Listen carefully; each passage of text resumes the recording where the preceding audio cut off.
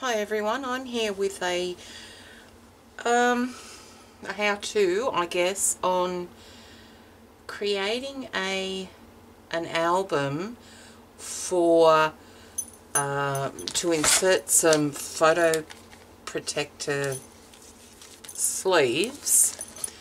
Um, these are by American Crafts. They're for they hold four by six photos, but what I'm going to use it for is to hold the um, postcards that I've received. I hosted a swap earlier this year.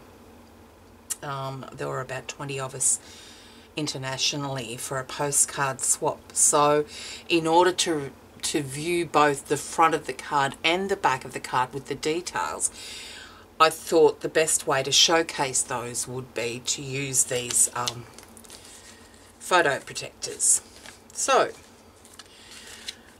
I'm still trying to work it around in my head, but what I think I want to do, first I'm going to cut this piece of uh, 8.5 by 11 craft cardstock. This is a Recollections cardstock.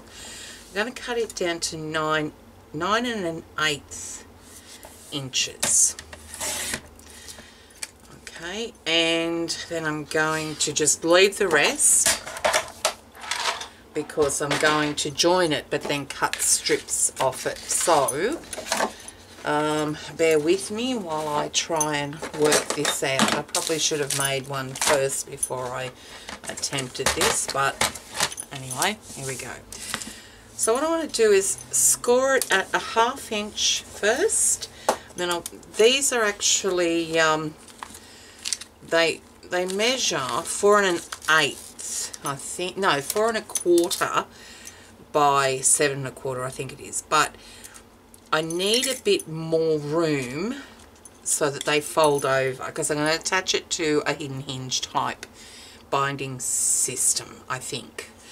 So what I want to do is go over so it's four and a quarters plus an eighth, I think. So I probably, yeah. So if I'm going to score that at so we came over half so it's four that's four and a quarter and that's the four and an eighth. So at four and uh, seven eighths I'm going to score that. So what I want it to do is to fold over like that and then have it slot into the photo sleeves like that. it's going to be snug and that's what I wanted. Okay, so what we're going to do with that now is I think I'm going to join it first to each other so we've got that there. So I'll do that first I think. So I'm going to grab some score tape. Yeah, okay, so I'm going to put the, I'm going to open that up. These are the folds there like that. Um, so what, where did I say I was going to have it? Yeah, so I want to put score tape along the the outer edge of that um, half inch score line on the inside. So right on the edge.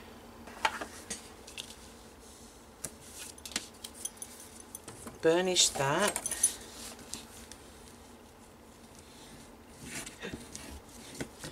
The tape backing. Fold this piece down and fold that over. Burnish it. And there we go. So then the photo sleeve should fit in there nicely, let's hope.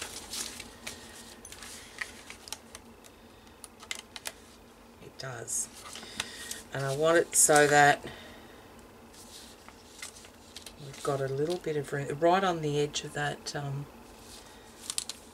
um, perforated edge there. So that's how it's going to be. Now from there to that perforated edge is about 7 eighths of an inch. So I'm going to cut these though at 1 inch.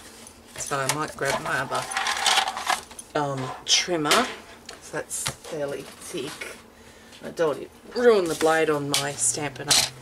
So,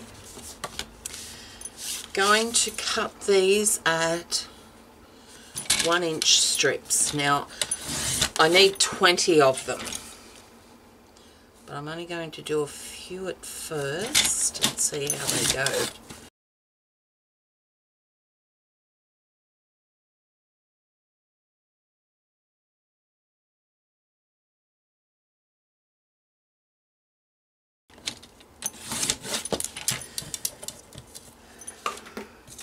So we got eight of those, so we'll need to do three, um, three of them. Okay, so I want that join there to go on the back side. I want the uh, opening to go on the back side as well. So I'm going to turn it over so that that's the opening there, and I want that one there, and then that's going to go in there like that. But I only want it to be attached to the plastic piece. Which side?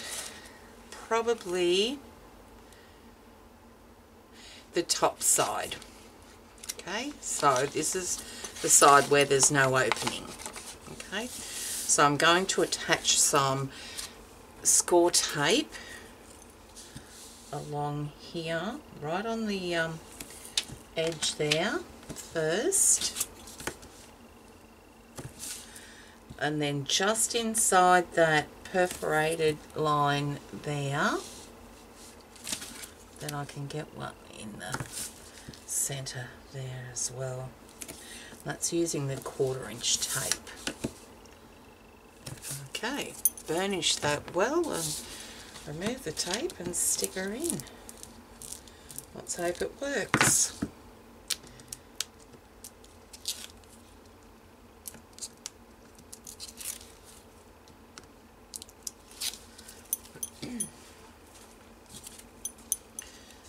Okay, so this is the upside, the top side. So what I want to do, is slot that in there,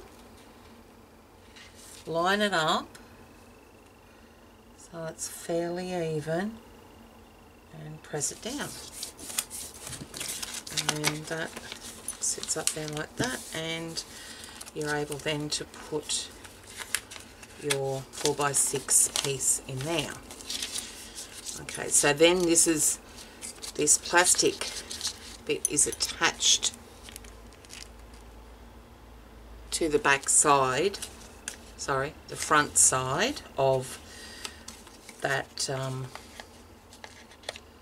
now did I want to do that? Yeah, this will be attached to the hinge, okay, so in here.